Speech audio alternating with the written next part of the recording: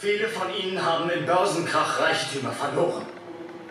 Die Reichen, die Kapitalisten in New York, die Juden, die mächtigen Banken, sie, sie bilden ein internationales System, in dem die Mobilität des Geldes, seine Fähigkeit, finanzielles Chaos und Panik anzurichten, dazu führt, dass Regierungen, die sich ihm entgegenzustellen wagen, gestürzt werden.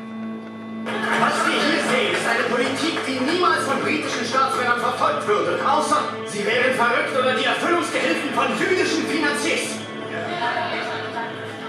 Das sind die Menschen, die ihr Geld haben, aber ich und all diejenigen, die die Wahrheit kennen, entzünden eine Flamme, welche die Atheisten nicht löschen können.